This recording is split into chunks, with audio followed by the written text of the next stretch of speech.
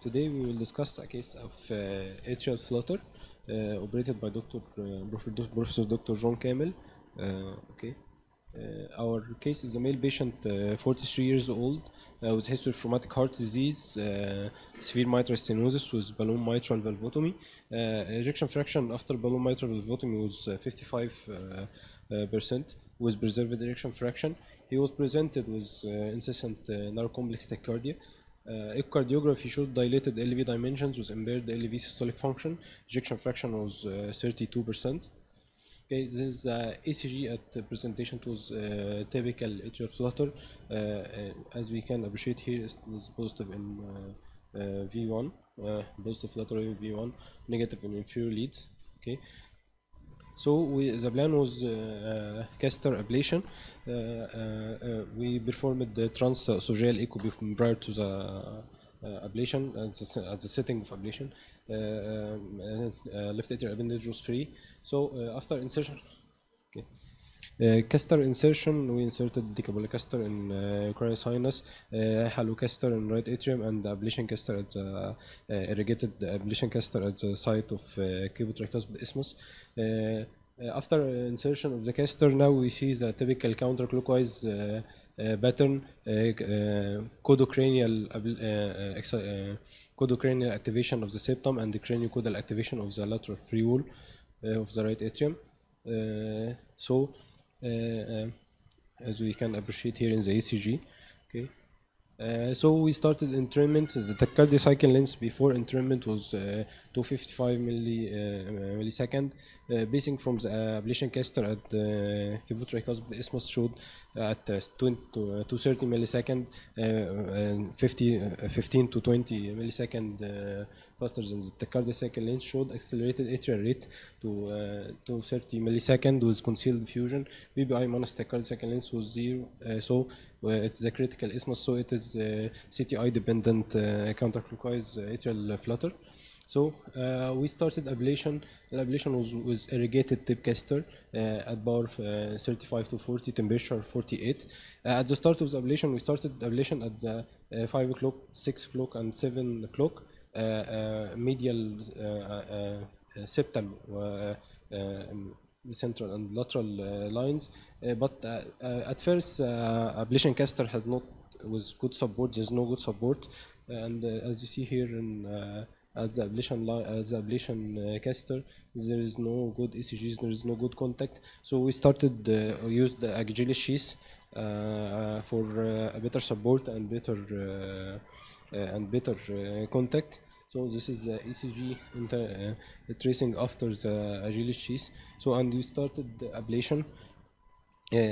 We made three lines, but after uh, after making lines, the tachycardia was terminated, but it was terminated by a VEC. Uh, uh, so, uh, is this termination sufficient to confirm successful line of block? Uh, we say no, because it's terminated by BEC and we didn't confirm bidirectional block. So we started to confirm bidirectional block by basing from uh, proximal coronary sinus uh, 9 10. So uh, um, when starting uh, uh, basing, we can see here uh, a conversion conversion pattern. So uh, um, conduction through uh, isthmus still present. So we uh, measured the time interval from the basing to the proximal halo to from uh, halo one as a um, marker for the ablation success. Yeah, and we also made basing from proximal halo one two, and we measured the time interval. Uh, so uh, the patient returned to sinus rhythm, so we started basing from coronary proximal coronary sinus, and we ablated while basing from coronary sinus. Our target was to uh, revert to reversion of the uh, uh, activation pattern, so it is sequential rather than conversion pattern. Um, this is after mapping, after the end of ablation, with return of the se- sequential activation pattern uh, at the uh, halocaster. So we return it back to the confirmation of the bidirectional block. Uh, so after basing from proximal coronary sinus, the conduction time was increased by more than 50 milliseconds at uh, um, HAL 1 to 1, 1 2. It, it was now 182. Before it was 122, 150, 125 and uh, from the uh, basing from uh, proximal halo showed the same uh, uh, increase in conduction time by more than 50 millisecond. So uh, this is the activation pattern after successful ablation. We can appreciate here the normal craniocaudal activation of the lateral free wall and the uh, craniocaudal activation of the septum. Okay, this is the normal ECG uh, af, um, after uh, after ablation with return of the normal sinus rhythm. So what's uh, atrial flutter? Atrial flutter is a type of supraventricular tachycardia caused by reentrant uh, circuit within the right atrium of the left atrium. It can cause significant symptoms, uh, severe adverse effect, including embolic stroke, really tachycardia-induced cardiomyopathy. Our patient here was suspected tachycardia-induced cardiomyopathy because it was normal function, and then uh, uh, the fun- uh, function deteriorated after the presence of atrial flutter. So uh, what's the ablation sites? Ablation site uh, usually it's three sites: central C, uh, cavotricuspid isthmus, lateral and medial cavotricuspid isthmus. Central cavotricuspid isthmus, uh, we take it in the LAO view at six o'clock. It is the narrowest and thinnest musculature. Lateral cavotricuspid isthmus, it is uh, seventh o'clock in LAO view. Uh, no pouch, second right atrial musculature, terminate, uh, terminal pectineal muscles are present. And medial uh, cavotricuspid isthmus is 5 o'clock, dev- uh, devoid of pectineal muscle but contain thickest uh, atrial muscular layer and nearest to the RC and avinodal extension. At we uh, we uh, we uh, gained successful ablation at 6 o'clock in our case in the lateral uh, central uh, CTI. So what is the method of confirming the successful by ventricular by bidirectional block uh, uh, confirming the cavotricuspid isthmus block. So first is the atrial activation sequence should be uh, craniocaudal activation from right atrial inferior free wall with uh, proximal coronary sinus spacing and the craniocaudal activation of the right atrial septum with inferior infralateral right atrial basing. Uh, uh, but uh, you should be careful uh, uh, before mapping adjacent uh, mapping the adjacent uh, ablation line for slow conduction around the ablation line from the contralateral side of the ablation uh, line. Uh, second, we have wide split electrocardiogram along the entire ablation line. It should be recorded through the ablation catheter. It should be more than uh, 90, more than or equal 90 uh, millisecond at the all sites, and with less than or equal 50 millisecond maximal variation among all sites. Uh, uh, uh, um, more than 20, 90 millisecond uh, recording uh, um, uh, time interval indicates gaps in the line. So uh, third uh, way, uh, the transisthmus interval counterclockwise block more than 50% increase in time interval between basing stimuli from the infralateral tricuspid annulus and to electrocardiogram in proximal coronary sinus and clockwise block more than 50% increase in time interval between basing uh, from proximal coronary sinus to uh, the lateral line. Uh, so, but it also must be minimal 140 millisecond, not less than 140 millisecond. Uh, so, uh, uh, a hint about arrhythmia uh, induced cardiomyopathy, possible triggers, mediators, effect, and recovery. Mostly it's tachycardia, frequent BVCs, AF. The triggers of tachycardia is increased heart rate, frequent BVCs LV dyssynchrony, AV dissociation, heart rate irregularity, uh, intermittent tachycardia, sympathetic denervation, uh, sympathetic dysregulation, post-extrasystolic potentiation. In atrial fibrillation, is heart rate irregularity, sympathetic dysregulation, and loss of atrial contra- contraction. The mediators of tachycardia is, calcium uh, overload and calcium mishandling. In frequent BVCs, mostly is calcium overload. Calcium mishandling is questionable. Uh, and mediator of atrial fibrillation, um, calcium uh, mishandling. Uh, uh, so the effect of tachycardia cause fibrosis, myocardial and remodeling, contractile dysfunction, uh, neurohormonal activation. Frequent BVCs cause myocyte and electrolyte remodeling, contractile dysfunction, maybe fibrosis. With atrial fibrillation, it may uh, affect, uh, contribute in contractile dysfunction. And what will happen after arrhythmia suppression? After arrhythmia suppression, the recovery of tachycardia cause normalization of LV ejection fraction, ventricular dilatation, diastolic dysfunction, reactive hypertrophy, persistent fibrosis. While in frequent BVCs, it cause normalization of LV ejection fraction and dimensions. In atrial fibrillation, it may uh, uh, help in uh, normalization of LV ejection fraction. Thank you.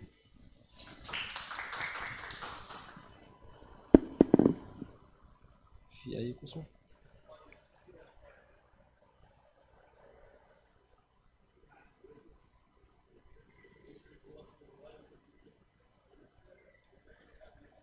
ده كان قبلها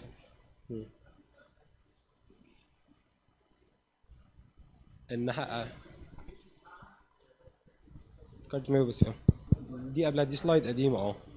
بيمبروف آه هي دي دي سلايد قديمة بس عشان هو مم. لا مش هيس دي اثرت ابليشن ما حصلناش من الأول خالص.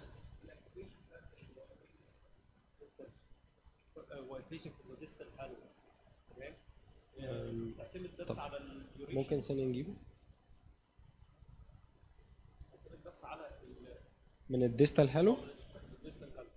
الديستال هالو تعتبر هتعتمد بس على الديوريشن زي في الحالة دي ولا هتعتمد على الاكتيفيشن باترن اللي فيه قسطره فوق السي اس اللي هو الهيس هنشوف مين مين الاكتيفيتد اريا الهيس أو السي اس علاقتهم بعض في آم، إن أنا أحط س- ه- هس يعني أنا أحط قسطره عن الهس أشوف إيه اللي علشان علشان الكوندكشن برضو آه، هو هو آه، آه، يعني أنت حضرتك تقصد الكوندكشن بس أنا بتكلم على الاكتيفيشن الاكتيفيشن باترن دلوقتي بتست اليوني دايركشن بلوك وانت ما باسم آه من الديستال هالو. هالو للبروكسيمال سي اس عايز تتاكد ان مفيش الكوندكشن اكروس ذا سي تي اي.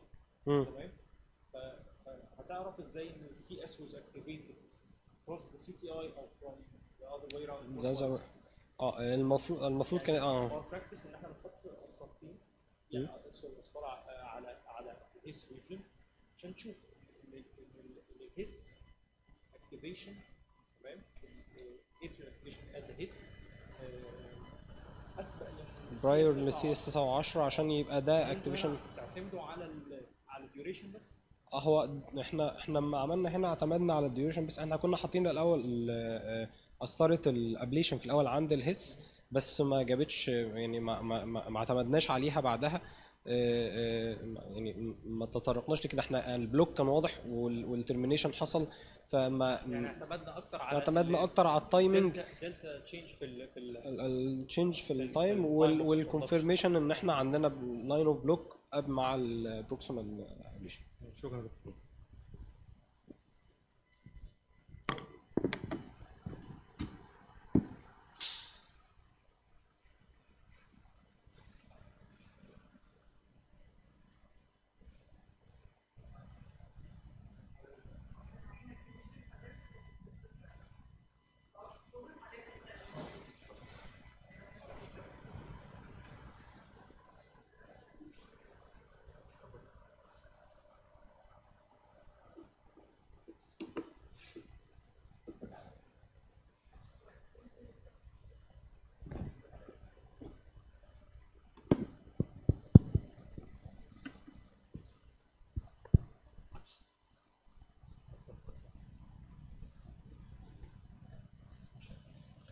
مساء الخير ازي حضراتكم؟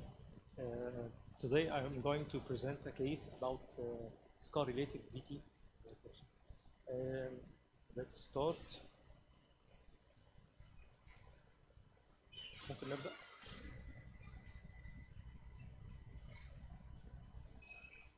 ممكن نبدأ معانا طب ماشي ممكن نبدأ نعرضها على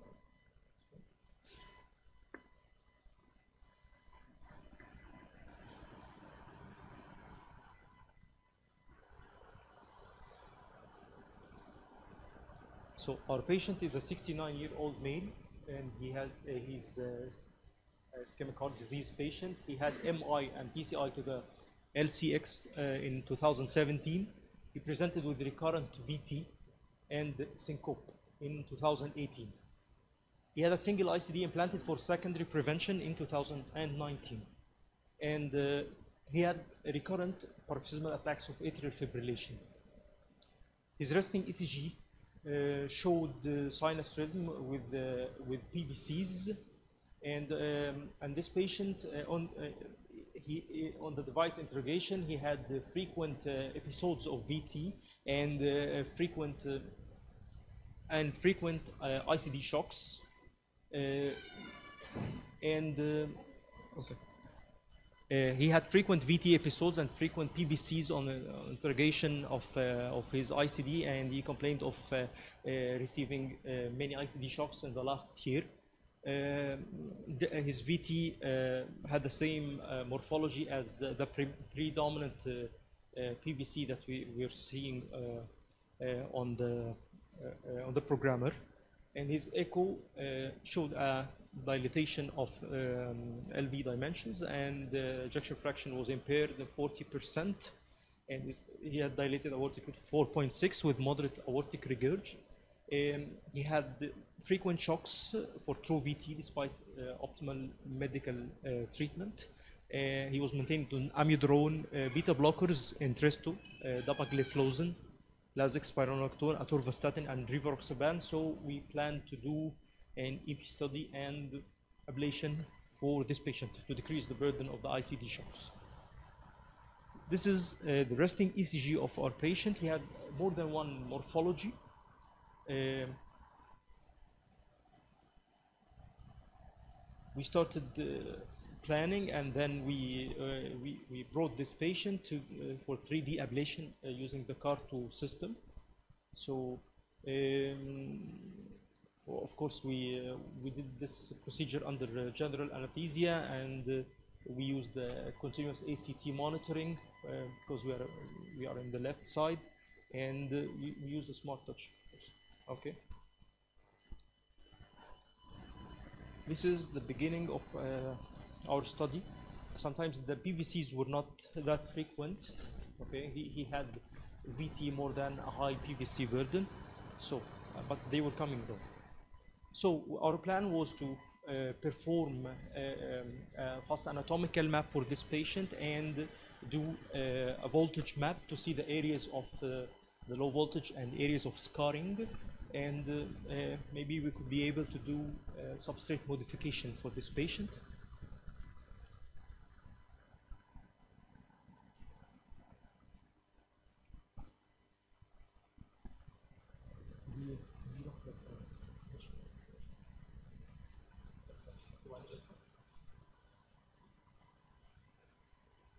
Okay.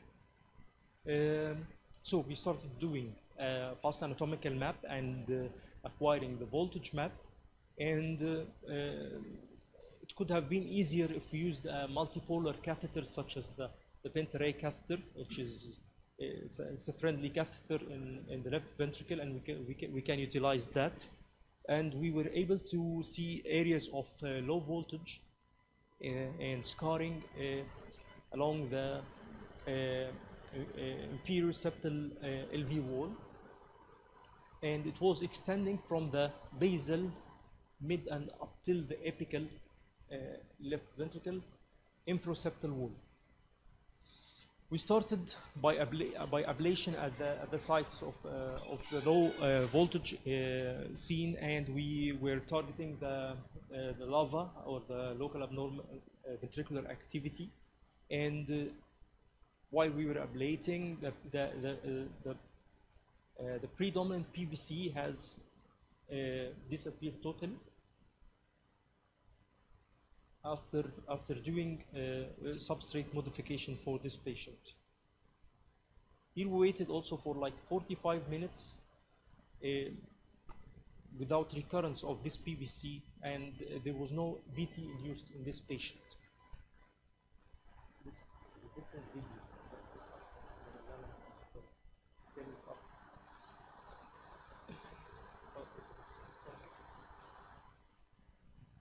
That's it. This is the ECG post ablation with no PVCs uh, of his resting ECG. And uh, uh, take home messages uh, for this case patients treated with VT ablation after an ICD shock has significantly lower risk of death, heart failure, and hospitalization than patients uh, who were managed medically only. the adverse event rates after VT ablation were similar to the adverse event rates with, uh, of in patients without VT and shocks. Okay.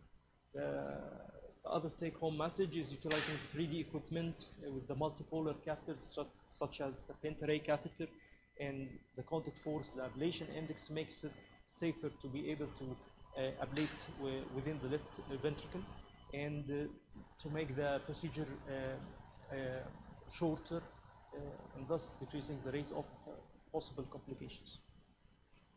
Thank you.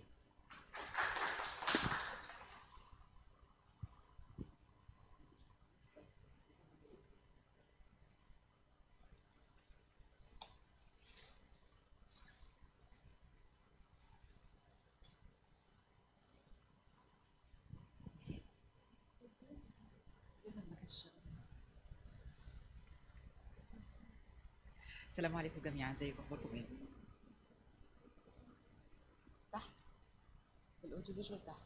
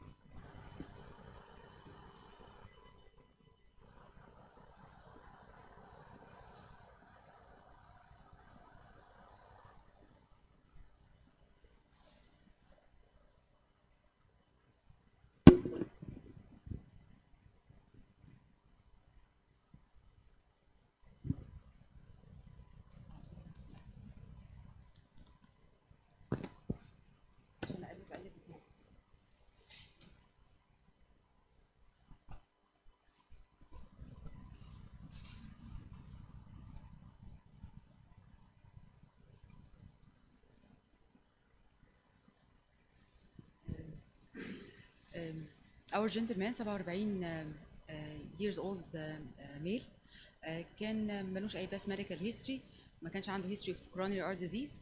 في 9 21 جه الاستقبال في مستشفى بره مصر عنده وايت كومبلكس تاكيكارديا وكان هيمودايناميكلي انستيبل وأخد دي سي شوك جالنا آه، بالورق بتاعه كان البيزك لابز والايكو آه، اللي عامله هناك نورمال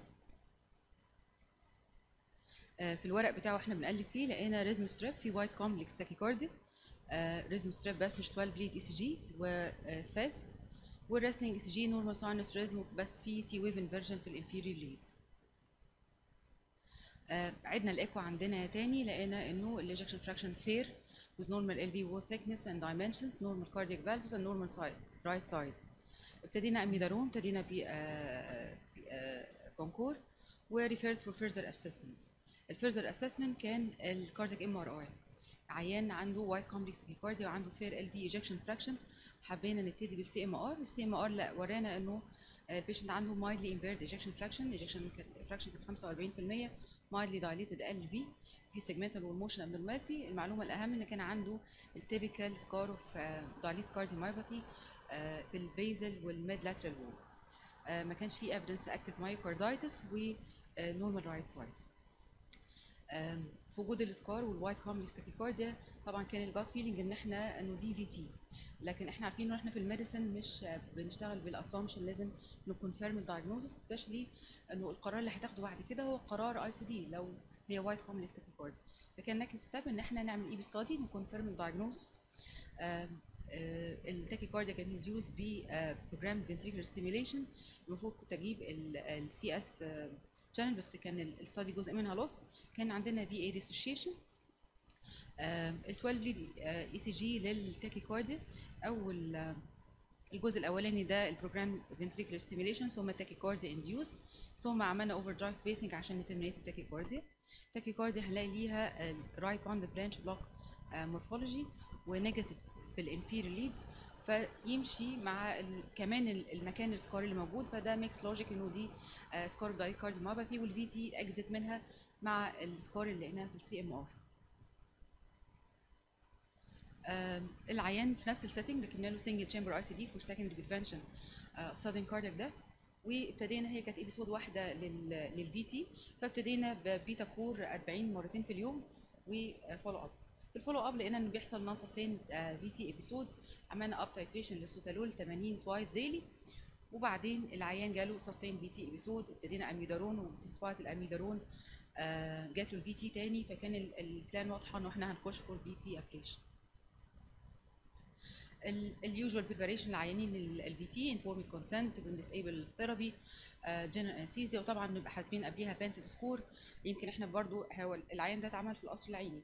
ما عندناش يعني ادفانسد هيمودايناميك سبورت لكن لو حسبنا السكور بتاعه هنلاقيه لو ريسك لعيان آه، آه، أقل من 60 سنة ما عندوش سكان كارديوميوباثي نيا فانكشن بلس هو ما كانش سيمتوماتيك أصلا الهارت فيلير ما عندوش بالمونري هارت ديزيز مش دايابيتك فهو لو ريسك ولو بروفايل واليوجوال بقى ارتيريال لاين عشان هيمودايناميك مونيتورنج واليورينيا كاثر والاي سي تي كابت من 300 ل 350 الاكسس إحنا من الأول داخلين على ايبيكارديال في تي فإحنا هنعمل ايبيكارديال اكسس وإحنا في الفي تي لما بنقرر ان إحنا نشتغل ابي واندو بيبقى ترتيب الاكسس كالآتي الايبيكارديال اكسس بالظبط سيفويد عشان قبل ما ندي الهيبرين وبعدين لازم يكون عندنا ارتيريال فيمورال تشيس عشان هنخش ال في ريتروجريد ولو في بلان ان إحنا هنخش ترانسبتال يبقى بعد الابيكارديال يبقى الترانسبتال عشان ندي هيبرين هنخش ال في انتي جريد ثم ريترو ندي هيبرين ونبقى ريدي بشيس من فيمورال لو هنخش ريتروجريد واستخدمنا سمارت تاتش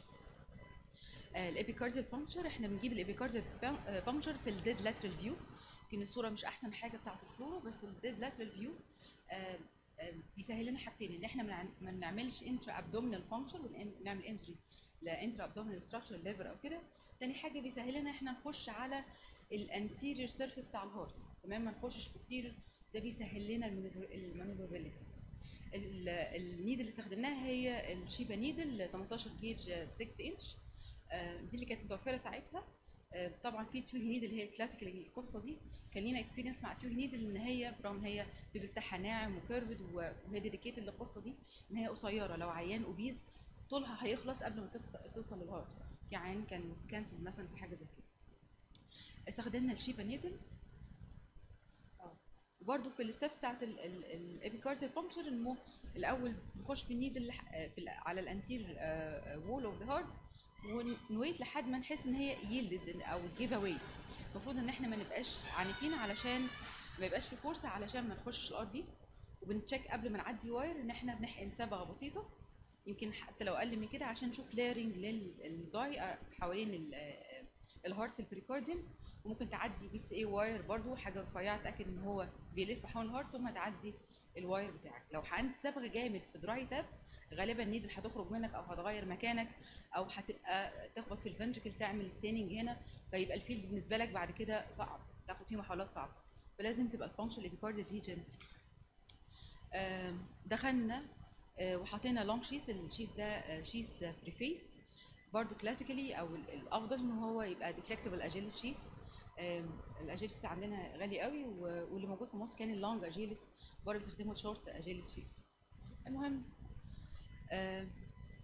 حطينا قسطرتنا وبقينا في البريكارديوم وستارت تو ماب وكان ال- المابز اللي هنعملها في ظل ان التاكي كاردي بتاعته كانت فيري فاست انه إحنا هنعمل فولتج ماب وهنعمل سبستريت ماب ومش هنعمل اكتيفيشن ماب وما ابتديناش باندكشن للتاكيكاردي لأن كان فيري فاست وكان دايناميك انستيبل وكانت بتجي له اوريدي من غير الاميدارون آه، دي الفولتج ماب ده كارتو سيستم معمولة من نص لواحد ونص. الفايلت آه، هو الهيلثي مايكارديوم والأحمر هو آه، السكار وبينهم ميكس بقى فايبل تيشو وسكارينج هنلاقي هنا خلينا نصور. آه، لو بصينا على البي اي فيو ده البوستيريور بارت أو ده اللاترال بارت من الهارت posterior بارت من الهارت وده آه، ده ماشي مع المكان السكار اللي كانت في السي ام ار ده الاي بي فيو وهنا برضو هنلاقي ارياز اوف لو فولتج موجودة على السيرفيس اوف ذا هارت ده السيرفيس اوف ذا هارت بقى مش ال في وده اكسبكتد في ال في ال آه، عند الار بي عشان باد اوف فات ما يبقاش سكورنج أو يعني انهيتد تيشو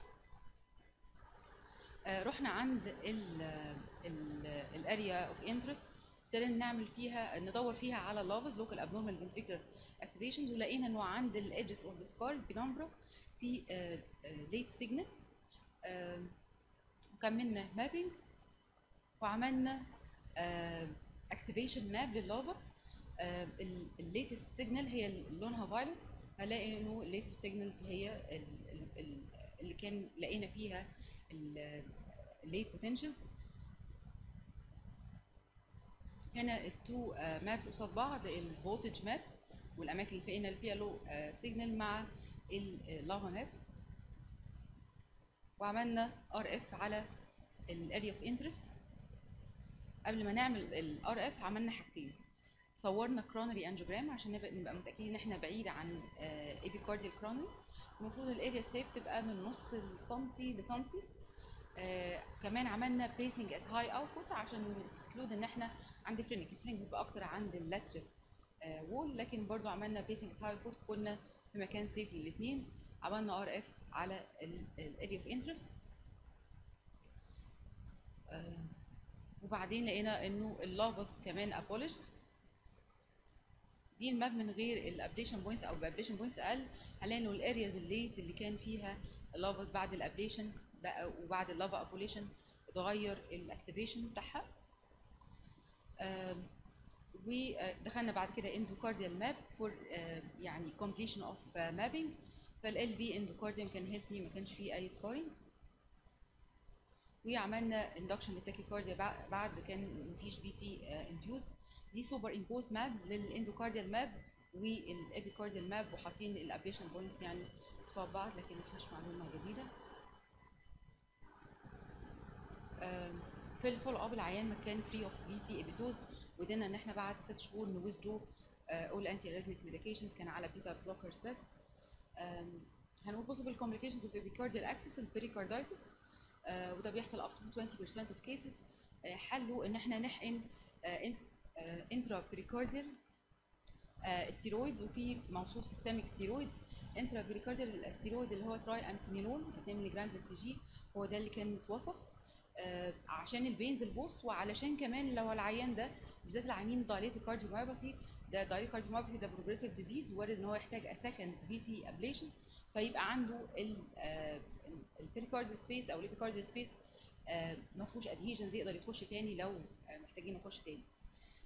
ان ادفرت ار في بانكشر ده بنأفويد إن إحنا لو قادرين نخش من غير بلاد ثينرز يبقى تمام. إن إحنا وإحنا بنعمل ايبيكارديال بانكشر نبقى كوشس ونتاكد من مكاننا بضاي أو بواير قبل ما نحط الشيس.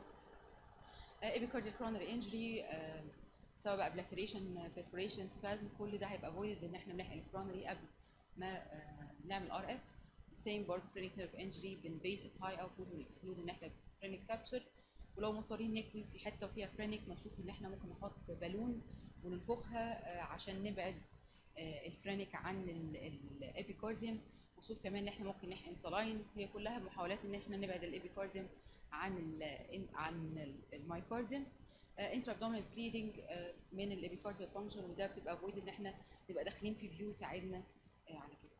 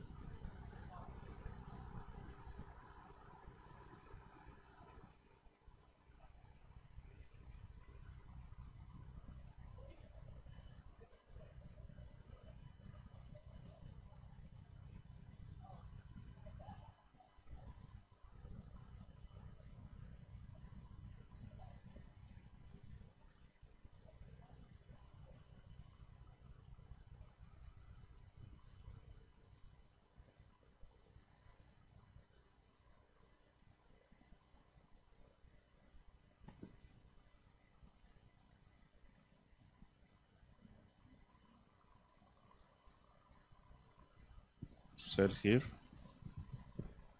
آه، أنا هقدم حالة نارو كومبلكس تايكارديا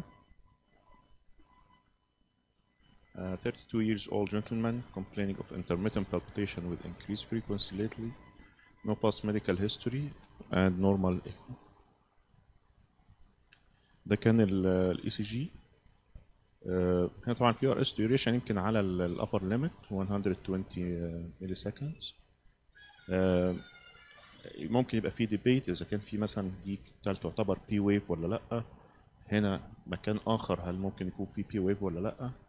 فإحنا خدنا ديسيجن إنه آه، هنشوف برضو دلوقتي الساينس ريدم اي سي جي إنه العيان ممكن يكون هنا عندنا الانديكيشن دايجنوستيك وثيرابيوتيك في نفس الوقت لما ندخل اي بي ستادي ده الاي سي جي ساينس ريدم وبرضه نشوف نلاقي يمكن نلاقي الكيو ار اس ديوريشن نفس ال نفس الديوريشن والاكسس نفس الاكسس برضه So we proceeded with the EP study. As we can see, the decapolar catheter in the CS, the RV catheter, and we advanced the ablation catheter used for uh, the RA mapping. ده هنا ابتدينا احنا بيشنت كان بيدخل في frequent tachycardia الحقيقه حتى during the study فده spontaneous tachycardia بتاعت البيشنت فنقدر نشوف ان احنا عندنا eccentric conduction آه، من الرايت سايد فده يحطنا في possibility آه، right atrial tachycardia versus right آه، accessory pathway. ابتدينا نحمل التريننج للتايكارديا. هنا طبعا التايكارديا سايكل لينث كان 382 ملي سكندز فإحنا ابتدينا نعمل اوفر دايف بيسنج باي 370 كابتشرنج و آه، لقينا الباترن بعد كده طبعا في اي في فده اكسكلودنج الاتريال تايكارديا هنا نفضل تاني نرجع للرايت اكسسوري باثواي to confirm آه، ابتدينا نحسب ال post uh, pacing interval minus tachycardia cycle length it was about 40 milliseconds and this confirmed AVRT we consider it as a concealed right accessory pathway لأنه ما كانش فيه accessory pathway on many ECGs with the patient and during the study as well. Uh, so here we pulled uh, the coronary sinus, the uh, catheter, the decapolar from the coronary sinus, and we use it as a, a mapping catheter on the uh, tricuspid valve. هنا دي محاولات لأن إحنا نوصل ل uh, the shortest VA interval uh, يعني في ستريبس طبعا كتيرة دي بس المحاولات بتاعتنا لحد ما نحدد البيست سايت فور أو الكلوزست سايت للاكسسوري باثواي وهنا uh, وصلنا إلى ما يبدو إن هو VA very near على التip بتاعت الأبليشن كاثيتر طبعا موجودة في الرايت اتريوم دلوقتي. دي طبعا كنا ده زي ما قلنا إنه الديكابولر على الترايكاسبيد بنعمل مابينج وهنا ابتدينا نعمل أبليشن على البيست سايت هو مش مش نفس الصورة دي بالظبط. But we reached the best site for ablation and we ablated 35 uh, watt for 60 seconds. الحمد لله الابليشن كان سكسسفول وعملنا كونفirmation ب بوست ابليشن بيسنج وزي ما إحنا شايفين في dissociation ما بين الار بي بيسنج والرايت الرايت اتريال ويفز ده طبعا الاي بي تيم and thank you.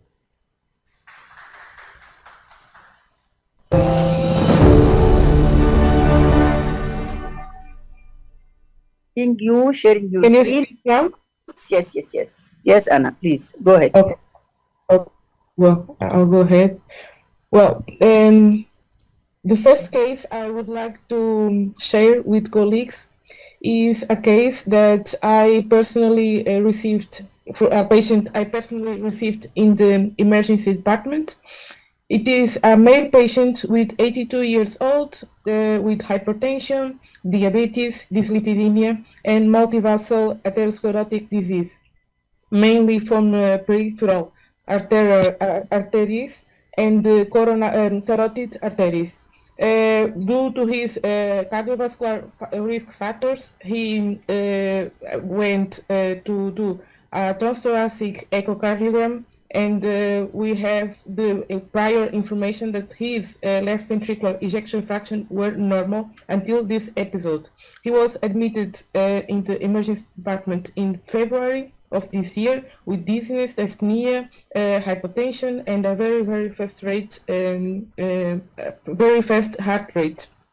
Well, follow- Okay, we'll give the audience uh, what, a few seconds to look at the ECG and answer the what is this ECG talking about. This is tachycardia, 209 beat per minute, and this is the look. Is it SVT? Uh, is it VT? Is it sinus tachycardia? Is it complete heart block? Now we have uh, those answering. Uh, VT, yes, one answered VT. Uh, let me look at the chat. Please answer. Can I go? Dr. As, Ah, okay, okay. VT, okay. So the, they, they, the, all the audience are saying this is a VT. Go ahead, Anna. Yes. Um, uh, well, the colleagues are correct. In fact, um, following the stepwise approach that we learned in this very course, we can tell that this is a, um, a regular wide QRS tachycardia with the, a left bundle block morphology uh, with an inferior axis, and uh, I, I would say uh, I would add a left inferior axis because we have um, U1 positive. Uh, additionally, we have um, other criteria to consider this um, uh, AVT. As we learned yesterday and today also, we should look for AV dissociation when we are in doubt if it is uh, wide QRS tachycardia. Is it VT or is it uh, SVT with aberrancy? And uh, this VT, uh, this tachycardia was very, very fast and uh, we could um, we could not identify uh, auricular activity. For instance, we can propose that in V1 we see some activity, but we cannot for sure say that it is um, uh, auricular activity dissociated. Uh, another criteria to consider this AVT uh, besides AV dissociation is in fact the uh, the QRS morphology we have a left bundle branch block morphology. In V1, we can see that we have an R wave with a duration equal or greater than 40 milliseconds. Uh, the one set of the R wave to the nadir of the S wave in some precordial precordialis, for instance, let's take um, V2, is greater or equal, as is greater than uh, 60 milliseconds. There is another criteria but it is it's not present in this um, which is the QR pattern in V6, V6, but we have not this criteria here. And uh, the other uh, important aspect is uh, that we have a transition in uh, lead V3. Although of note, uh, in lead V1 and in lead V2, we have uh, important uh, R waves that we will correlate um, in the next slides. Okay. Well, uh, given the fact that the, the patient presented with the hemodynamic compromise, um, we performed an electrical. Uh, Shock. ah, okay. shock. okay, yes. We performed a cardioversion with um, 150 joules, and the, the patient converted to this rhythm that we could say it's an atrial rhythm. It does not seem to be a um, sinus rhythm because of the uh, uh, P. It is it, it is sinus rhythm. It is sinus rhythm, uh, Anna, and No, with prolonged PR interval, and with marked S segment depression in V4, V5, uh, V3, and this is because of the tachycardia and the DC shock. So he is in sinus rhythm uh, and prolonged PR interval. So I disagree with you in this. So this is sinus Okay. after the shock, but he does have prolongation of the of the PR interval, as you can see here. Yes, Prof. Thank you, Prof. Well, Yeah. um, we also performed uh, analysis, and the Yeah. troponin and the electrolytes were normal. Yes. I, I would like to mention that sometimes after this shock you can get elevated troponin, but for this man, he does not. It's, it's very important to exclude acute coronary syndrome as a cause of ventricular tachycardia. We can look at the rhythm strip that there is a PVC in lead 2 in the rhythm strip down. Show them, uh, Anna. Uh, this is it- PVC, and yeah. this looks most probably like the one in the VT. So, uh, yes. Yes, go ahead, Anna. Yes, thank you, Prof. Well, uh, I, I can see that you were mentioning atrial premature beats because of the changing morphology of the P wave in lead 2. You are right. But the, Yes, it's, it's mostly sinus. But some atrial premature, like the, the beat uh, in the beginning, uh, the second one, the third one, atrial premature, but he's back to sinus rhythm, uh, as you can see at the end of the uh, rhythm strip of lead 2. So he does have in the rhythm strip Yes. atrial premature, ventricular premature, and this is the one you are uh, pointing at is the sinus beat. So yes, he's back to sinus, but Mhm. some premature atrial beats and few ventricular premature beats. Go ahead, Anna. Yes, thank you, Prof. Uh, well, then we performed um, an, a summary, uh, a fast uh, TT echo, and he had depressed left ventricular ejection fraction and the wall anterior wall uh, motion abnormalities. Uh, we performed the coronary angiography, which presented a long LAD stenosis. And after discussing with the case with the colleagues from the uh, lab, uh, they recommended just uh, medical optimization because uh, it was a diffuse um, lesion. Well, we in fact optimized his medical therapy, and uh, he, the patient, received a single chamber ICD. Regarding the medical optimization, we uh, gave him, um, after the cardioversion, uh, IV amiodarone and also followed by, by oral amiodarone. Also bisoprolol and uh, follow the rest of the medication for his heart failure and his coronary disease. Well, um, uh, after some uh, months, he came to the um, device clinic, complaining also, also complaining of dizziness. And uh, in the ICD interrogation, uh, there were multiple episodes of monomorphic VT, some of them terminated after ATP and some of them in the monitor zone. I will just um, uh, pass quickly um, Yeah. the patient after these these consultation. Sorry, after this consultation, the, pa- the patient underwent um, an EP study, and uh, this is the um, the This is a 3D electroanatomical mapping using the CARTO system, and uh, uh, they are uh, using a very high technology to to, make pictures of uh, CT picture on the CARTO in order to visualize the coronaries. Dr. Anna is showing us the running VT, as we can see the video, and she is pointing out to the focus, which where these PVCs come from. Uh, Anna, continue. Yes, yes. In fact, it was possible to induce the VT, and we verified that the VT came from the anterior aspect of the left ventricular outflow, outflow tract, as we can see here. It was a focal VT, uh, this, uh, uh, although the patient had structural heart, heart disease, uh, we found a focal VT that was in accordance with the morphologic characteristics of his ACG. Yes. So when, when we do electrophysiology, we have to in- induce uh, the tachycardia by electrical stimulation and, uh, and then compare the morphology of the 12 lead ECG of the tachycardia to that recorded uh, when the patient came to the emergency room. And we can, uh, uh, we, when we confirm this is clinical tachycardia, then we can map it. And as I can see from her presentation, she's doing great in Portugal.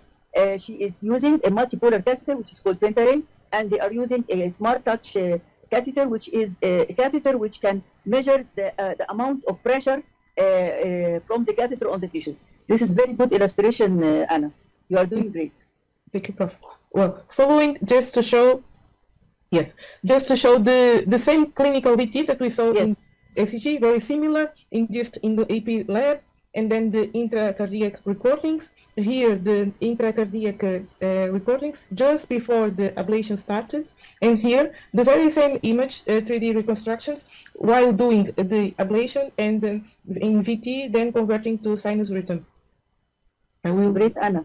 Great. I will then yeah, go ahead. Yes, we then uh, saw the patients. These were the first um, episodes before the ablation, and these were the the follow up uh, after the ablation without even. Dr. Anna is showing us the, uh, the interrogation of the, of the uh, ICD by uh, the programmer, and the graphs are showing that after ablation, uh, no attacks uh, of VT, no recurrence. Thank you. Um, well, the second case um, was um, a younger patient, uh, also male patient with uh, prior myocarditis in 2010 with mild left ventricular dysfunction. Uh, prior coronary angiography normal, uh, prior MRI uh, with uh, um, late gadolinium enhancement or mean, meaning fibrosis in inferior, lateral, and apical wall. Um, that is an extensive myocarditis episode uh, this patient had a previous um, episode of syncope in 26th of March. At that time, he did not go to the hospital. Uh, some uh, days later, he went to his general practitioner complaining of uh, fainting at home. Uh, her, she asked for a Holter, and he did the Holter in the uh, 3rd of March. Uh, uh, sorry, the date the date is not good here. This is April. Yes, he did the Holter in the 3rd of April, and while with the Holter and uh, while driving, he had another syncope. He was assisted at the street and then referred to the emergency department. At admission, his blood pressure blood pressure was normal, and his heart, uh, rate was 117. And this We can give them, uh, go back, The uh, ACG. Anna. Let's ask the audience. What do you think of this uh, ECG? Is it VT? Is it SVT? And choose, please. This is a 43 year. Okay, we are getting some answers. Uh, one said SVT because it is null. Do you agree, Anna? no prof. let them let them answer. Uh, Dr. Janet is saying SVT with aberrancy. We'll wait for two more questions, uh, two more answers. Dr. Soha El Shib- Shibli is saying fascicular VT. Dr. Mariam uh, is saying SVT with bundle branch block. Dr. Morono Kola is saying VT. Okay. Okay, now we have all options. So uh, I can I can swear this is VT from the rhythm strip of lead 2 where you can see VA dissociation. Show them the VA dissociation down Yes. in limb lead 2 in the rhythm strip. You Yes. can, if, We the can see, strip, yes, in here, yes, and here, yes, and here, and here. So maybe so I- here also. So, so this is a pathognomonic uh, for uh, ventricular tachycardia. So there is VA dissociation. This is number one. I, I know that you said the QRS is not that wide. Actually, yes, because it is it is the QRS duration is 124 from the measurements. But if you measure it yourself at lead two, measure the QRS complex at its widest part. So you can measure it in V6, you can measure it in lead two in this patient, in this ta- tachycardia. The, actually, the QRS complex is wide the, you, you were deceived by the number which is written by the ECG machine. Uh, actually, it is more than four, it's one, more 100, 160. Yes, It's but- 160. So it is not correct what is written up that it is 124 milliseconds. So uh, it is not SVT with aberration, it is, it is definitely VT from the VA dissociation. The, this is a patient who had myocarditis, ejection fraction 48%, and late gadolinium uh, enhancement in the inferior lateral apical of the left ventricle. This is VT. He had syncope, and he should. What did you do for him, Anna? She, Yes, after cardioversion, you, you cardioverted him or you give him amiodarone? He Well, was coming with- Uh, since the, uh, given the fact he was stable at presentation, although Yes. he had a syncope, but he was hemodynamically stable, and we gave him uh, amiodarone, bolus, Yes. and then uh, perfusion. so show us the ECG, the resting ECG. Yes, this is the Yeah. ECG after uh, conversion, chemical conversion to sinus rhythm. His ECG does not talk about any infarction or ischemia or ongoing. Uh, so this is this is a scar in the left ventricle in the area where the gadolinium uh, uh, showed us. Yeah. So what did you do for the patient? Yes, prof. Uh, then we we we did uh, more investigations. Well, uh, we repeated the uh, left ventricle ejection, uh, uh, the TTE, which showed again um, dysfunction that we had prior. Uh, we repeated the coronary angiography; it was normal, and we repeated the MRI. It uh, um, uh, showed uh, the previous recorded extensive fibrosis with one additional um, element that the patient now had biventricular moderate systolic dysfunction, um, which um, made us question if it was just the scar from the previous myocarditis, myocarditis, sorry, or an arrhythmogenic cardiomyopathy with biventricular involvement. Uh, either either option, uh, we the patient received uh, an ICD and uh, bisoprolol and uh, more uh, medication, optimized medication for heart failure. Um, this is one of the this was one of the patients that after receiving the ICD, the patient asks uh, to us how is it to feel a shock, and we don't know very well how to respond that. And uh, we told him that when you have one, you will know that it is a shock. well, he soon enough he he knew what was a shock because at the same day from the discharge, he uh, uh, while uh, arriving at home, he felt four ICD shocks. Uh, he had no loss, loss of consciousness, and uh, while he came back to the hospital, and uh, the the um, he the the uh, device recorded five unsuccessful appropriate shocks due to due to sustained monomorphic VT. After this, he was admitted again, and uh, he went to do an EP study. And uh, these are uh, the films from the EP study. We uh, managed to uh, get the tachycardia induced during the study. Uh, we can see here the pre, um, the Purkinje fibers uh, potentials prior to the QRS, here in sinus rhythm, and here during tachycardia. And here we have the video from the area where the tachycardia was originating at the level of the posterior fascicle. If So those who answered the fascicular VT is correct answer. See? Yeah, because it is narrow, it looks like right bundle, but it had the was it right inferior axis or the axis was a little bit odd. uh, sorry, here. Yeah. So those who answered this as fascicular ventricular yes, you are correct. This is a right bundle morphology, and actually this is a very odd axis. The axis in this uh, ECG, where is the axis with no axis? Huh? EQ. Yes, prof. Yeah. Yes, Yeah. uh, uh, a right superior axis, prof. With it is the- a left superior. It's it's a left superior axis. It is a left superior axis, but le- limb lead one is quite strange. yes, Dr. Yusuf, are you with us? Ye- Yes, Dr. Mirvat, I see that. Uh, I mean, lead one matched lead V6, so I think it's a correct placement of uh, leads. I think it could be uh, because it, it's negative inferior leads. It's in, in um, uh, it's a right superior axis, I would say, Uh, and yes, positive AVR.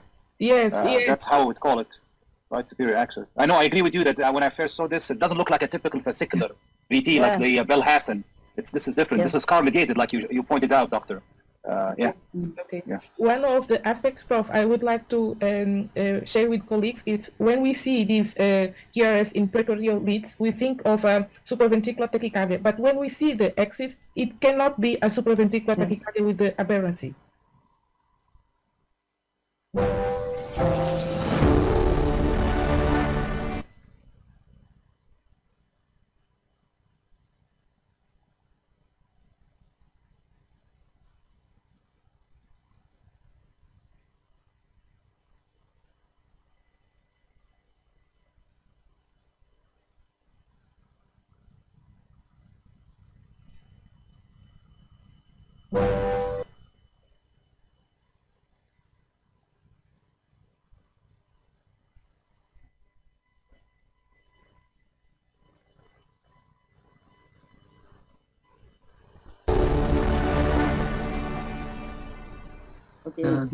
Good evening, doctors. Good evening, uh, African cardiologist. Um, I'm Dr. Abdelaziz uh, Jawadi from Tunisia.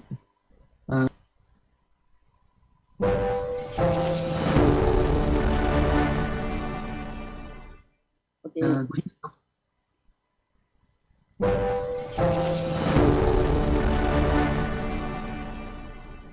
okay. uh, good evening, doctors. Good evening, uh, African cardiologist. Um, I'm Dr. Abdelaziz uh, Jawadi from Tunisia. Okay,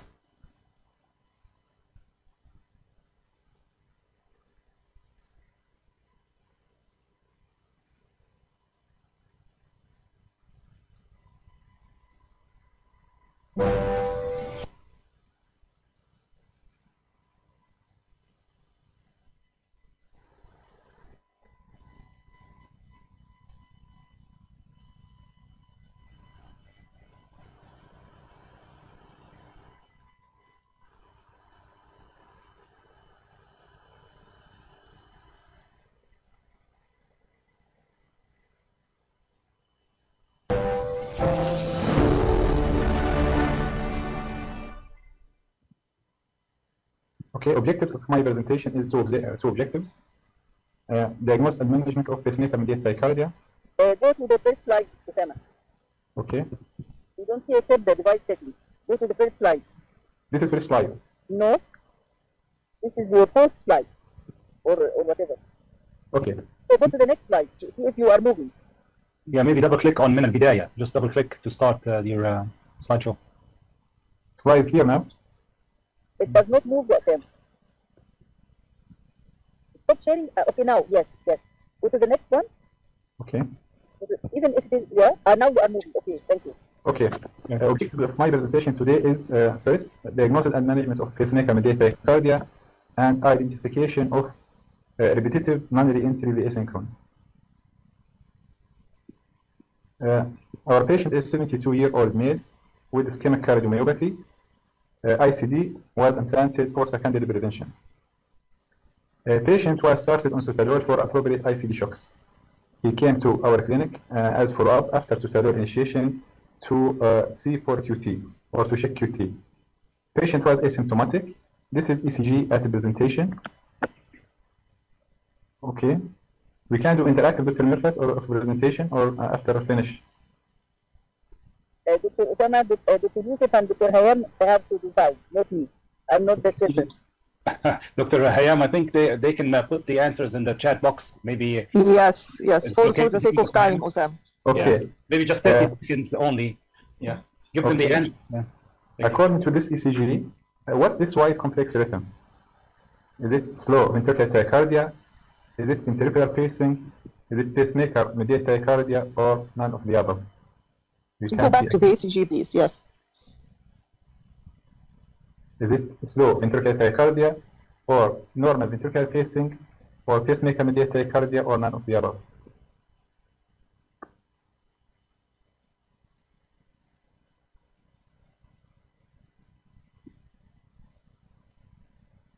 Okay. Uh, after that, we put, uh, we start interrogation of device, and during device interrogation, we uh, we, we uh, get another episode of the same tachycardia. We can see here that is this is A pacing, B pacing, here A pacing, B pacing, and this is B sensing, which is BBC, uh, premature ventricular tachycardia. After BBC, this is retrograde A wave, and after that B pacing, retrograde A B pacing, and patient started wide complex rhythm. That is we see in, on ECG here the same. This is sinus, sinus. This is BBC. After BBC, patient started wide, wide complex rhythm. So uh, from interrogation, this rhythm is pacemaker mediated tachycardia. Device setting of our patient, the mood was DDD, lower rate 50 beats per minute, upper rate 120 beats per minute. BVAR was sitting at 250 milliseconds. Patient was have 30% A pacing and 2.7% B pacing. AV Wenckebach at 100 beats per minute. In this interrogation, uh, notice retrograde VA time is 440 millisecond, and last beat VA block occurs and pacemaker mediated tachycardia stops as we see here. So this patient has pacemaker mediated tachycardia, recurrent but asymptomatic. Uh, the question here, Osama, please, Osama, some uh, audience uh, would like you to go to the uh, CASA, a big screen. Can you make it a big screen from down? Go to the full screen. من تحت يا أسامة في هنا. تحت تحت. شمال شمال فوق شمال هنا جو فول سكرين برزنتيشن فول سكرين اف 5 اف 5 يو كان يو كان بريس اف 5 أوكي اف 5 اون يور لابتوب نو نو Is it clear? No. بص شايف الأيكون اللي تحت في كاسة. شايف رقم 67% منها في كاسة. فاهمة؟ يس بس على الكاسه اللي تحت دي يا أسامة. تحت على الشمال. البر البر اللي تحت. لا انت تحت خالص. هي اللي لقيت في أربع زراير أربع زراير.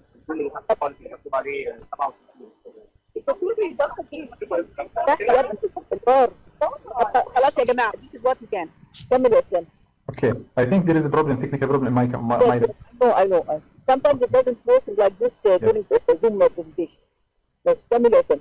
Okay, uh, the question here for our patient, what we can do in this case to prevent pacemaker-mediated tachycardia? What options we have? First option, and it is usual option, is to prolong the BVARB. But our problem here that is pacemaker-mediated tachycardia initiated with VA interval at 320 milliseconds, which is long. So if we prolong BVARB more than this number, we can get uh, repetitive non-reentry VA synchrony. Second option, that we change the mode from DDD to VVI. But in this setting, we will lose A pacing, and we see, we saw that patient has uh, 30% a pacing, which is quite a bit. Third option is to change from BDD mode to AAI mode, but may AV block occur since he has low Wenckebach. Fourth option is adding PVC response, which will pace A after PVC, but this may result also in repetitive non-reentry via. Patient is asymptomatic, so we decided to monitor for pacemaker tachycardia at 90 beats per minute to see how much he is having. If frequent, we intervene. If not, we will keep the, the, the same setting. This is another, another patient or another uh, another case. This is uh, during interrogation. What we can see here, we can see here that this is uh, sinus beat. Sinus beat. This is BBC. After BBC, this is retrograde A wave, not capturing. And after that, this is the pacing rupture. And after the pacing, patient starting pacemaker mediated tachycardia.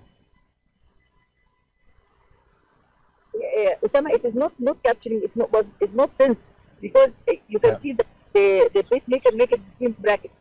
So uh, uh, uh, for uh, listen to the PVC, you can look at the PVC.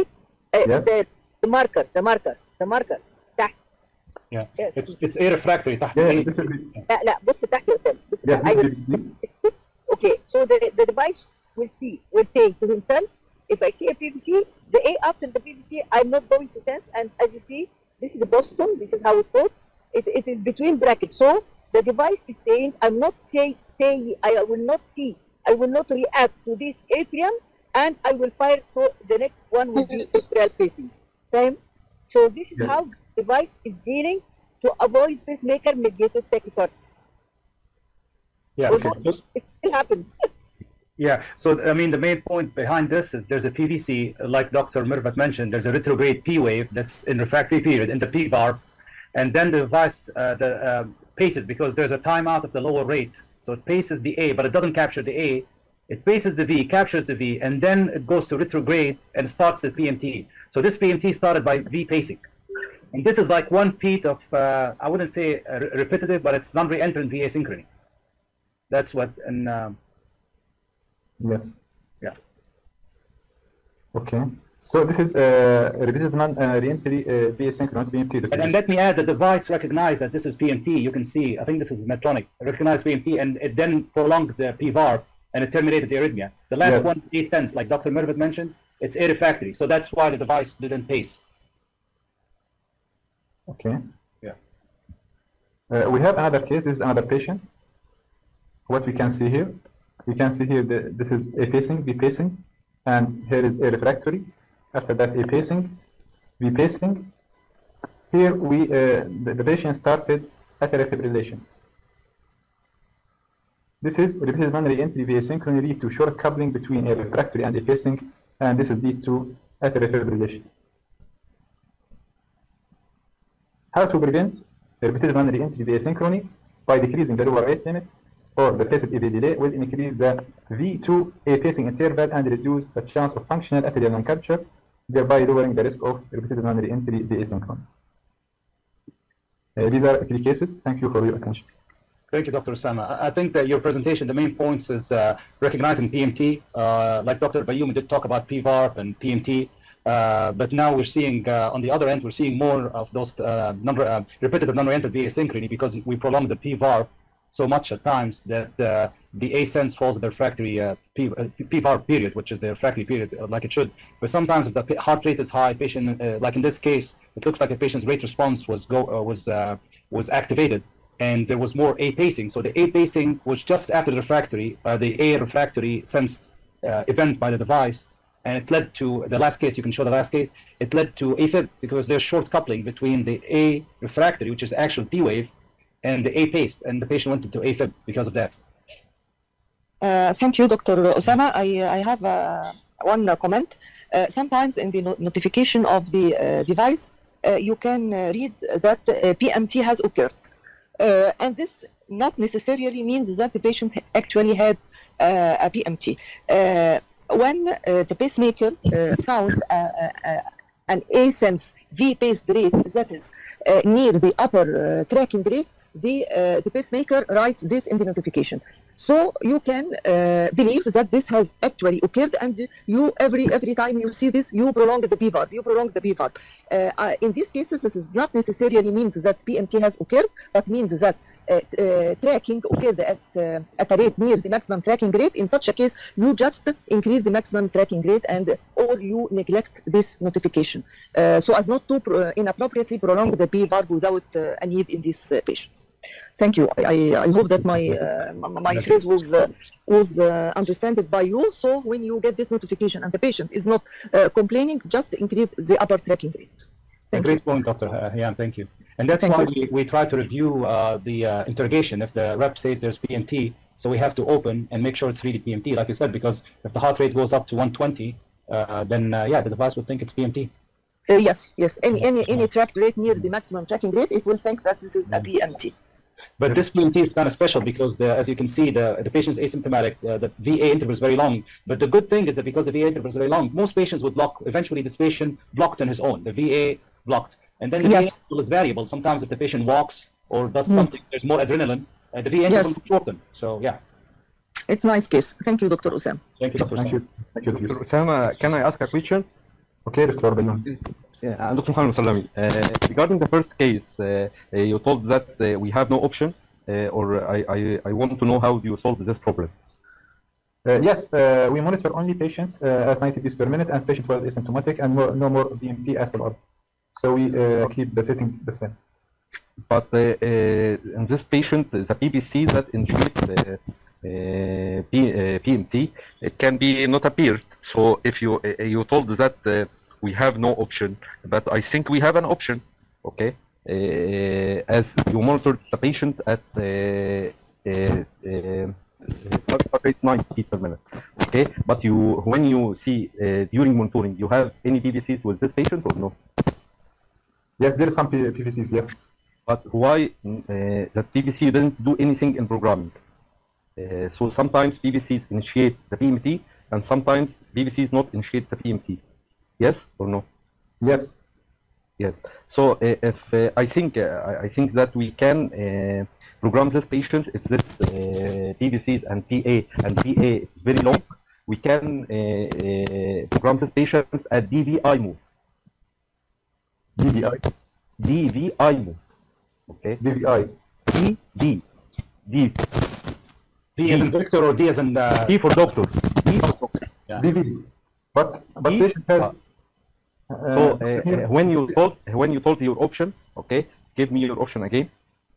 Is that Uh, my- option that ah, option, second option ah, is ah, yes, there is a, fifth option, okay, that you you didn't want to program as VVI uh, to loss asynchrony, and you don't program AI to loss uh, to to fear of uh, uh, AV block, okay, and Yes. prolongation of PVAR will uh, uh, will lead to uh, repetitive non-entered AV V asynchrony, uh, and the adding BBC response only BBC response will act when uh, at BBC only okay when he is uh, programming so it is an option and another option if you program the uh, use the mode uh, d for doctor vi so it will not happen uh, pacemaker mediated tachycardia and you will not lose va synchrony uh, during vvi and you will not uh, at risk of av block Yeah, you're, you're right, uh, Dr. Mohammed. I mean, you can, you can do that, yeah. I mean, Yeah. it's a good point. I mean, you're, you're, you're on one track, basically. There's not going to be. ah, track- we we will not track okay Right, yeah. uh, yes Yes, so the issue is the tracking mode. Uh, Any non-tracking mode will not allow PMT to occur. ah yes This so is nice, nice uh, observation, nice Yes. comment. Uh, Dr. Hasib Raza is asking about if uh, PMT could be recognized by an ICD and lead to shock. I think uh, this is uh, not uh, possible. As uh, the, uh, for the, the device to shock, it should be a sensed uh, event. Dr. uh, Hasib, any comment, Dr. Mervat, on this point? in order to am uh, uh, and my, my point is that we have to, to look at the programmer, what the programmer says. And I like the comment that you said about uh, the the fake or the many times you open Sanjut pacemaker with tachycardia and you cannot find it. This is very important what you mentioned. Uh, for... and, then for the question of Dr. Hasib, that is uh, PMT couldn't be mistaken by the ICD and PSHOC because this is not a sensitive ventricular rhythm. It should be a sensitive ventricular rhythm for the ICD to discharge a shock. Yes.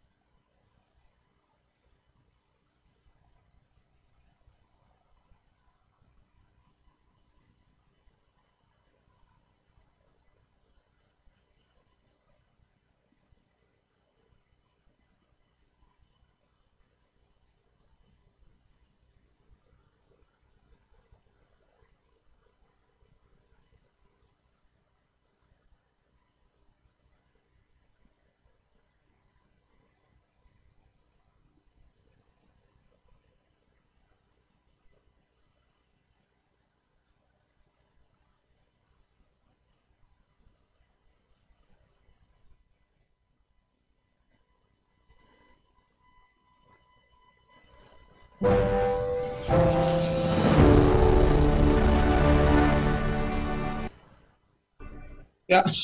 I think it is good evening to everyone.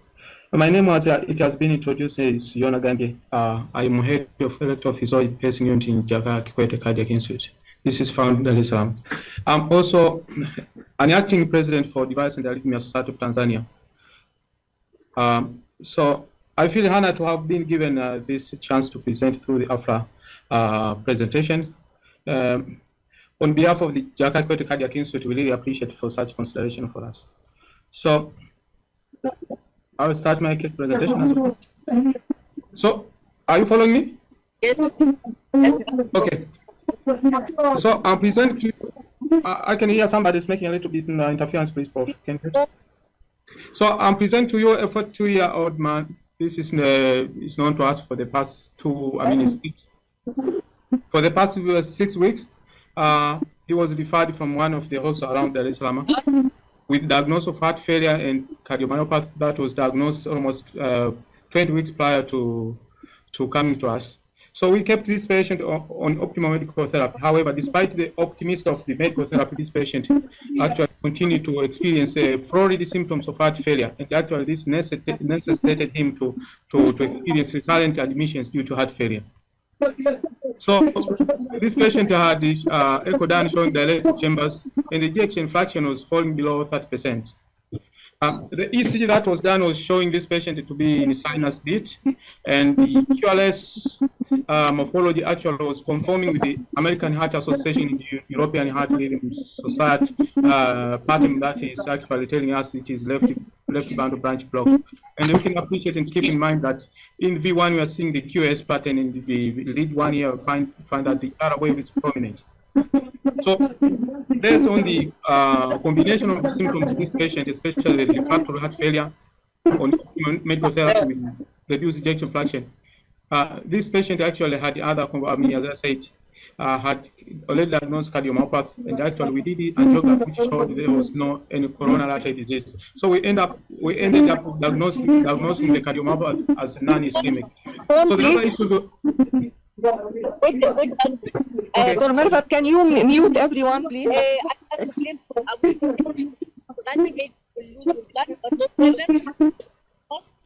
Make you co-host. I can host in order I can uh, shut down the microphones. Please um, mute all, Dr. Mervat. Yes. Okay, I will. Okay, now everyone is muted except uh, you and uh, Yusuf. Randy, go ahead. So where can I start? Did everyone follow me? I'm not sure whether the previous slide were. Yes, we are following you now. We are. Okay, thank you. Thank you. So the main issues on this patient were refractory heart failure, uh, while he was on the medical, optimal medical therapy presented with the reduced ejection fraction below 30%. And, and we ruled out uh, obstructive coronary artery disease, and therefore we reached the diagnosis of non-ischemic cardiomyopathy. The other issues were recurrent admission due to heart failure, and the ECG uh, confirmed uh, to have features that, that were suggesting uh, the syndrome. So the combination of these symptoms actually um, made this patient to have a recommendation for cardiac resynchronization therapy uh, in order to improve symptom, symptoms of heart failure and also reduce the morbidity and the mortality of this patient. I know this patient was 42 years old, and according to recommendations uh, based on the uh, pub- published, published results actually, on the EP Europace um, with a, a study uh, with a titled as age stratified comparison of prognosis in cardiac therapy with and without prophylactic defibrillator for non-ischemic cardiomyopathy. Recommend any individual who is coming to to to to, uh, to receive resynchronization therapy below the age of 60%, then it is recommending that that patient should be re- receiving CRT. And this uh, actually goes hand in hand what we were learning yesterday through uh, our presentation. So in this patient actually went on implanting CRT instead of CRTD because this patient could not raise money to pay for CRT service. And also uh, in our store, we had only CRT available, so we had to opt for this. But yet, the, uh, the indication was class one indication to undergo this colonization. So, based on the constellation of these symptoms, this patient actually had um, a, a combination of factors that uh, were defining this patient to benefit from CRT. And actually, we classified this patient as a high responder attributable to presence of wide QRS complex, the pattern of left bundle branch block, which was typical in this patient, and also the diagnosis of non-ischemic, which was confirmed in this patient with reduced ejection fraction, with the exception to the uh, female gender, that this man, was, I mean, this patient was a man. So based on those, those factors, we, we predicted, predicted that this patient actually is going to benefit from uh, CRT treatment. so we went on with the procedure. Our approach was uh, through the left subclavian artery, and this is LAO projection. Actually, we're using this projection in order to, to determine the suitability of, of, of the uh, coronary sinus anatomy. And here you can find this very nice posterolateral branch that we need to target in this LAO projection that we use uh, in order to, to, to implant the, the lead. But also we are using this RAO projection actually it's telling you a lot about of the uh, basal region so that we avoid pacing from the, from the apex. And after having assessed that one now, we can see the LAO projection with the LV lead implanted uh, posterolateral branch. And from the RAO, uh, I mean, RAO projection now, you can see the distal lead is not reaching the apex, so we are just uh, hanging around the basal region.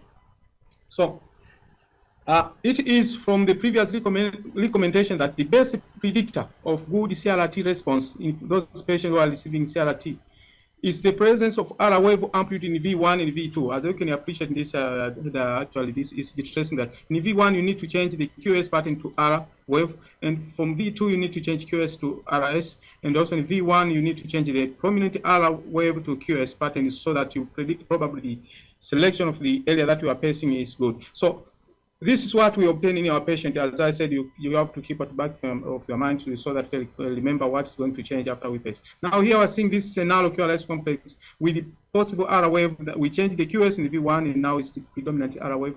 In lead one now, this predominant uh, QS. Uh, we thought probably this patient is presenting good result and the QRS now has changed from 170 millisecond now is 128 millisecond, uh, showing us we have well narrowed the QRS and that probably we are trying to minimize the dyssynchrony in this patient. So after uh, just two weeks, this patient actually improved in terms of the symptoms of heart failure, walking in distance increased. And the, actually, by this time, this patient is back to his routine and he never came back complaining of heart failure. And since the CRT, he has never been admitted anymore. So as I said, you need to optimize the anatomy that you're assessing so that when you implant the lead, you get the good results and the patient gets a um, good outcome so that you prevent heart failure. But sometimes the things doesn't run as you, you expect. Sometimes you, you, you, you encounter, I mean, a very suboptimal anatomy. So when you are faced with the suboptimism of the anatomy now, there are, this is a challenge that you need to address. And one of the uh, approach to address where the anatomy is not suitable is selection of the lead. Now, uh, the components have come with the, uh, especially, for example, Attain Performa quadripolar LV lead. This has got, uh, I mean, three shapes, which have varying angles, and, and, actually they can go to different anatomy based on the selection of the lead. Also, they are impregnated with steroid on all electrodes, enables, enabling it so that the uh, chronic go up and also enables you to stay in the basal area so that you can uh, avoid pressing the the, the, the, apex and also the phrenic nerve. But also between electrode and electrode, you find the distance very short, and this reduces the chance that you're going to press the phrenic nerve. As you can appreciate here, if you're having the longer distance here, the, the, the electric field from electrode to electrode now can, can stimulate the phrenic nerve, and therefore necessitate you may either to do lead, lead do surgery, and when you do um, the operation for the second time, the chance that you are going to get at the site where the threshold is very high, the stability is very low, is very high. Is therefore, the outcome might not be very good for the patient. Now, the current electrodes, uh, they are very short. Dr. Yona, uh, yes. you have two minutes just to, to make sure. Okay, thank you. Yeah, I have on the two sides. So, having specialists now, you can minimize these complications that have been uh, uh, telling. So these are the leads that I've been shown, I mean, mean uh, discussing. You can find the S-type lead. This actually is suitable for larger but low tortuosity vessels. And when you have a small high tortuous vessel, then this the straight one is is the best option. Now, when you have vessels with intermediate characteristics, then you can go uh, type of lead. So another uh, approach to solve for uh, suboptimal anatomy actually is by using a pacing algorithm within the programmer known as a MPP, multiple uh, point pacing. Actually, this uh, allows to pace from two LV lead electrodes instead of one point.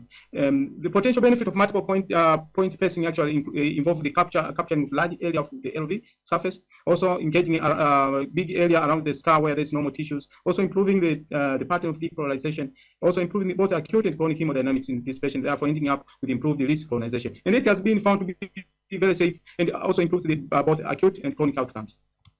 So in summary, this is what I've been saying. In order to get good outcome, actually, other challenge you need to to to to, take into consideration actually to, to optimize the AV timing address arrhythmias, address anemia. And when there's less than 90% pacing, then you have to go to the programmer, look for the um, uh, different uh, actually uh, algorithm, for example, atrial tracking recovery, conducted the atrial response, and 20% response, so that this can minimize, uh, can maximize the outcome of the patient. But also the selection of the patient is very important. Should, should not select the patient with non-QRS complex. So this I, I've already said. So with, with that, I thank you so much. Yes, Prof. Uh, you have to finish. Yeah, um, this is my last slide. We thank Professor. Uh, that's our slide. We have a conference next year. Uh, I think uh, we are invited Professor Mervat and everyone watching us now can join us. Maybe can you just contact us in case they're interested to go to Zanzibar for this conference. And this is my last slide. Uh, having done a successful implantation, and now everyone is smiling here. Thank you.